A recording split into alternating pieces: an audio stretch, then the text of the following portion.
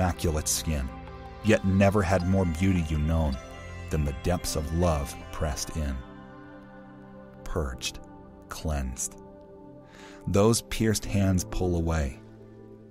If you love me, keep my commandments. That love marked in those hands must become greater than any you know. The mire remains, for this is its time to stain.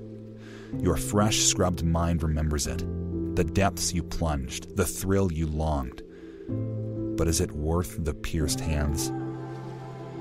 Can you remember those hands, cut through for love, now guiding over you from above? Can your love shape the choice you make? Do you seek a life for His sake? Those pierced hands still hold you. Those pierced hands still lift you. Having reached below all things, they shall raise you above all things. So they shall again and again and again, if your stained hands ever reach again for those pierced hands that purged you.